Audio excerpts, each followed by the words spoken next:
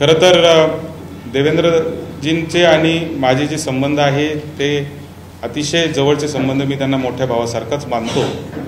आणि त्याचं कारण आहे की माझे दिवंगत बंधू राजीव राजळे हे ज्यावेळी दोन हजार चारला पहिल्यांदा आमदार झाले त्यांचे एक तरुण आमदारांचा एक त्यांनी ग्रुप तयार केला होता युथ फोरम नावाने.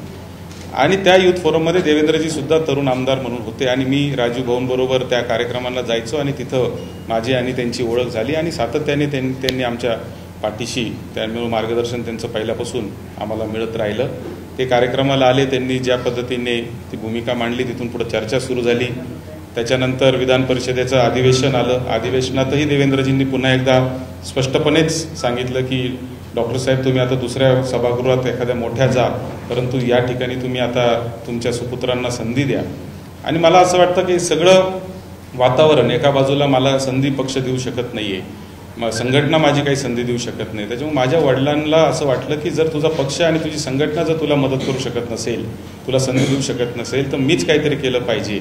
एक पित्याची भूमिका म्हणून त्यांनी खऱ्या अर्थाने मला पंधरा दिवस आधी निवडणुकीच्या फॉर्म जाहीर झाल्यानंतर त्यांनी मला सांगितलं की सत्यजित मला असं वाटतं की ही निवडणूक तू लढवलं पाहिजे. मला अनेक लोक सांगतायत अनेक कार्यकर्ते सांगतायत अनेक नेते बोलतायत की सत्यजितला संधी द्या. आणि म्हणून मला असं वाटतं की ही निवडणूक तू लढ आणि मी थांबून घेतो अशा पद्धतीची भूमिका माझ्या वडिलांनी त्या ठिकाणी घेतली.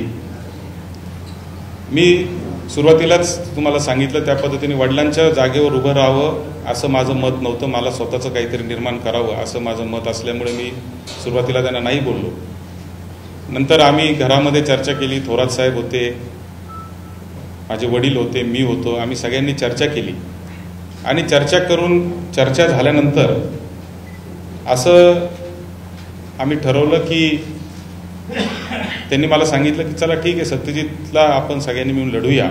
अशा पद्धतीची चर्चा आमच्यामध्ये सगळ्या परिवारामध्ये झाली. आणि आम्ही तशा पद्धतीचा निर्णय पक्षश्रेष्ठींना कळवला.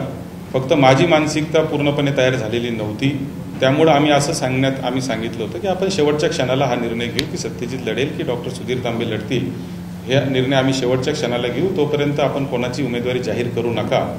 असं मी स्वतः एच के पाटील साहेबांना भेटून सांगितलं. माझ्या वडिलांनी एच के पाटील साहेबांना सांगितलं.